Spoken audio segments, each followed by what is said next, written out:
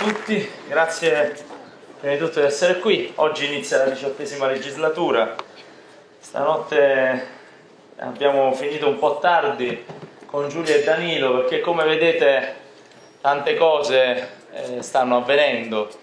Era chiaro che non si potesse accettare subito che eh, ci fosse una forza politica del 32,5% che ha il 36% della Camera e che chiede la presidenza della Camera. Molti di voi mi dicono ma com'è che dobbiamo leggere le cose dai giornali? Alcune cose su di me le scopro dai giornali, non le ho mai fatte, quindi diffidate anche da tanti retroscena perché si legge di tutto ogni mattina e capirete poi nei prossimi anni che cosa significa leggere retroscena su se stessi di cose che non hai mai fatto, che raccontano i quotidiani ogni giorno.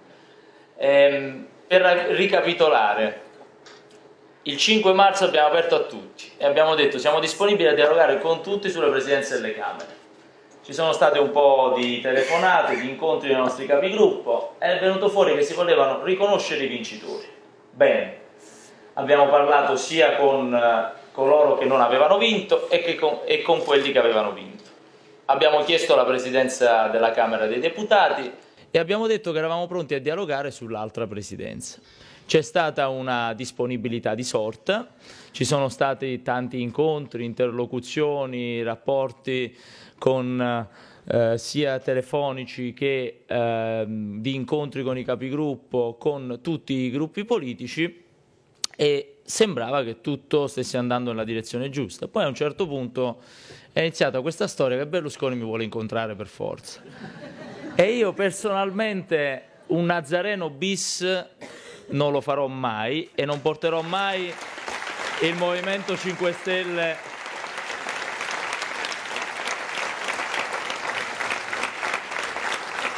e non porterò mai il Movimento 5 Stelle ad una cosa del genere, anche perché il centrodestra aveva indicato in Salvini il suo interlocutore con le altre forze politiche e noi con lui abbiamo parlato, come abbiamo parlato con Martina, come abbiamo parlato con Grasso. Ieri sera Danilo e Giulia hanno fatto una riunione con tutti i gruppi di nuovo, hanno riaperto la discussione, hanno detto rinunciamo a due vicepresidenti della Camera noi che possiamo eleggerci di diritto e li diamo al Partito Democratico perché come vi ho detto l'altra volta non faremo con loro quello che hanno fatto con noi. Abbiamo detto chiaramente che nelle prossime ore siamo disponibili, eh, ma non solo disponibili, stiamo attivando gli incontri con tutti i gruppi di nuovo, le interlocuzioni, adesso non c'è più da fare l'incontro eh, solenne, adesso c'è da sentirli e capire che vogliamo fare, che cosa vogliano fare. È chiaro che oggi non possiamo che votare scheda bianca, ma per una ragione semplice, tutti quanti gli altri faranno la stessa cosa, ma in generale oggi alla Camera si elegge a due terzi, e comunque è oggi per quello che vediamo impossibile e soprattutto noi non vogliamo, non vogliamo arrivare al punto in cui si debba andare allo scontro. Questa è una legislatura nella quale abbiamo delle varie maggioranze relative, ognuno si considera maggioranza relativa. Noi siamo la forza politica che ha preso più voti, ma non siamo andati dagli altri a pretendere, siamo andati dagli altri con uno spirito di responsabilità, a dire a tutti guardate che noi questi voti li mettiamo a disposizione per individuare le figure di garanzia all'interno dei, dei gruppi politici.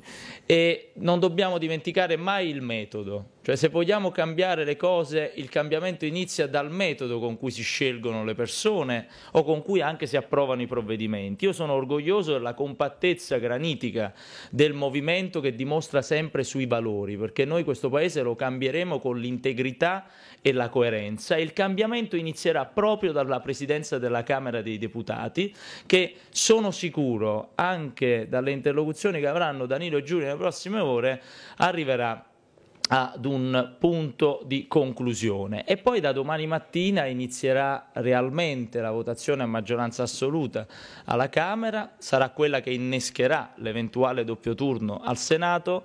E nella giornata di oggi noi eh, faremo capire alle forze politiche che le Camere devono essere il riflesso della volontà popolare. Tra oggi e domani capiremo se la volontà popolare per questi signori vale ancora qualcosa oppure no. Ma è molto difficile immaginare che non possa valere perché questa volta le forze in campo sono totalmente differenti. È chiaro che Se eh, le altre forze politiche non hanno ancora chiarito quali sono le loro intenzioni, noi adesso per il bene delle persone che vogliamo candidare alle presidenze delle Camere è logico che non le esponiamo ancora. Dobbiamo prima di tutto chiarire il metodo. Noi abbiamo varie opportunità in questo emiciclo parlamentare. Ho sentito più volte sia Matteo Salvini che Maurizio Martina in questi giorni, con loro continuerò a parlare, una soluzione la troveremo. Nella giornata di oggi quello che vi chiedo è di stare sempre pronti perché potremo doverci riunire più volte, potremo dover cambiare eh, il nostro modo di votare, non credo nella giornata di oggi, ma vediamo, vediamo. Storicamente il primo giorno di votazione alle presidenze delle Camere non è che si raggiunga qualche risultato, anche l'altra volta siamo arrivati al sabato sera ad eleggerli tutti e due. E eh, avete un sistema di messaggistica che eh, Danilo e Giulia hanno messo in piedi ed è quello a cui dovete stare attenti anche per eventuali nuove eh, riunioni in cui ci coordineremo e prenderemo delle decisioni anche abbastanza repentine. In queste ore sarà molto importante anche la velocità, la capacità di adattamento che non c'è mai mancata. Un'ultima cosa volevo dirvi, ora al di là di tutte queste questioni sui nomi delle presidenze delle Camere, sulle vicepresidenze, sui questori, perché noi poi abbiamo allargato a tutti, abbiamo detto guardate che questi uffici di presidenza facciamoli insieme, il punto è che li vogliono fare insieme ma tranne che con noi, c'è una certa resistenza, non voglio lanciare accuse, però vedo che c'è una certa resistenza a considerarci l'ago eh, della bilancia, ma lo restiamo.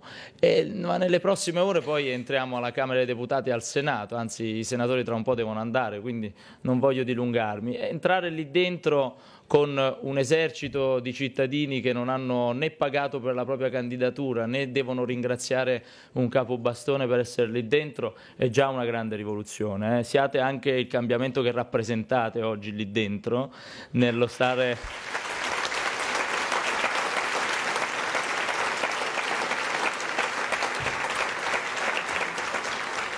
nello stare nei due rami del Parlamento di una democrazia parlamentare come l'Italia e vedrete che anche questa volta metteremo un altro piccolo tassello verso il cambiamento totale di un paese che ha bisogno prima di tutto di esempi. Già Roberto Casaleggio diceva le parole volano, gli esempi restano ed è quello che noi dobbiamo essere, un esempio, anche nelle trattative che stiamo portando avanti. Dobbiamo essere sempre da esempio, non per le altre forze politiche, ma per i cittadini che hanno una grandissima fiducia in noi. Grazie a tutti e buona fortuna.